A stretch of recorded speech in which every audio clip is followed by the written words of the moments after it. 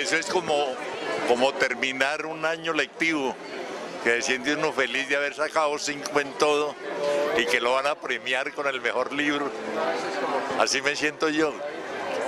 Me siento satisfecho de todo lo que hice y me siento alegre porque todo el mundo está contento con esa labor que yo hice. ¿Qué más quiere uno en la vida?